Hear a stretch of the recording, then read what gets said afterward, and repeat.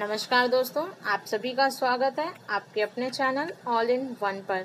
आइए आज हम जानेंगे एविडेंस को हिंदी में क्या कहते हैं। Meaning of evidence in Hindi evidence का स्पेलिंग होता है E V I D E N C E evidence evidence को हिंदी में कहा जाता है सबूत। एविडेंस को हिंदी में कहते हैं सबूत। आज के लिए इतना ही। फिर मिलेंगे एक नई वीडियो के साथ। तब तक के लिए चैनल को सब्सक्राइब करें।